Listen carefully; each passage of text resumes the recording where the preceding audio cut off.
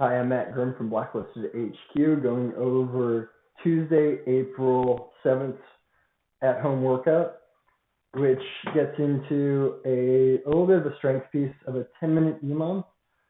First minute, you do five squats with whatever you have available kettlebell, dumbbell, barbell, can be front rack, can be back rack, could be a backpack, wearing a backpack, could be in the front rack, could be a puck if you have one of those lying around.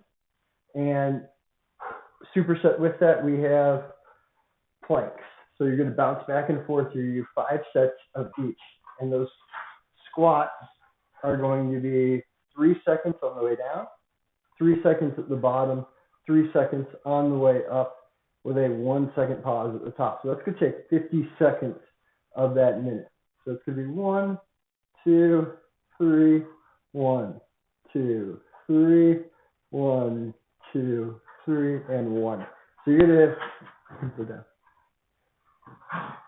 So you do five reps of that, which is gonna take 50 seconds, and then a 10 second break before you hop into 30 to 45 seconds of planking. After you're done with that, we then have an eight minute AMRAP of a little bit of midline work. So it's going to be 30 Russian twists, dumbbell, kettlebell, book, whatever you happen to have available. So you're up on your butt. Ideally, if you need to put your feet down, you can put your feet down as you go through that. So if you need to have your feet on the ground, you can have your feet on the ground. 30 sit-ups and then 30 knee to opposite elbow from the plank. So you're going to be in the plank position. You're going to bring that knee across your body to that opposite elbow. So 30 minutes or eight minutes of just working through these reps. Nothing crazy.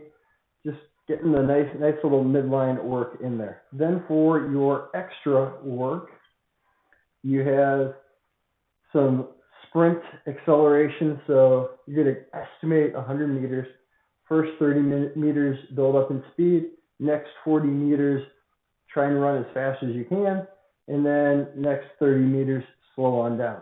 And then walk back to the start. That should give you enough rest. Maybe go through 10 rounds of that.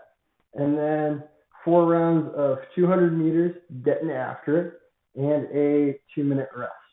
Have a great workout.